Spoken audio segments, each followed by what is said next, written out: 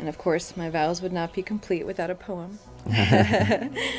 so I wrote a. I didn't write it. I'm sorry. Uh, I uh, I chose a poem by E. E. Cummings. It's called "I Carry Your Heart." I carry it in. I carry your heart with me. I carry it in my heart. I am never without it. Anywhere I go, you go, my dear. And whatever is done by only me is your doing, my darling. I fear no fate, for you are my fate, my sweet. I want no world, for beautiful you are my world, my true. And it's you are whatever a moon has always meant, and whatever a sun will always sing is you. Here is the deepest secret nobody knows.